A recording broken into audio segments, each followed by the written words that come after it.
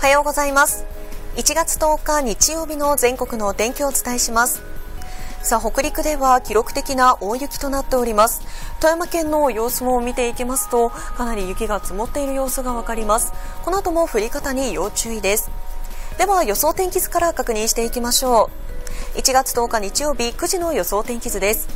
今日も冬型の気圧配置が続きます。日本海側を中心に雪が降りやすくなりそうです。積雪の増加にもご注意ください。ではアイコンで確認していきましょう。日本海側を中心に雪が降ったり止んだりとなります。山陰から北のエリアの日本海側を中心に雪が降りやすく積雪の増加に注意が必要です。北陸エリア記録的な大雪となっておりますが一旦日中は雪の降り方が落ち着くところが多くなりそうです。ただ夜になりますと再び雪が降り出してきますので注意が必要です。そして九州北部などでも夜になりますと雪降り出してくるところが多くなりそうですのでご注意ください。除雪作業される方は必ず2人以上で安全を確保して行ってください。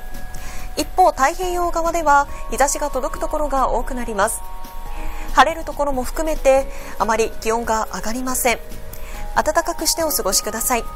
そして関東エリアでは空気が乾燥している状態が続いておりますので肌や喉のケアウイルス対策火の取り扱いなどしっかりと行ってください。以上全国のお天気をお伝えしました。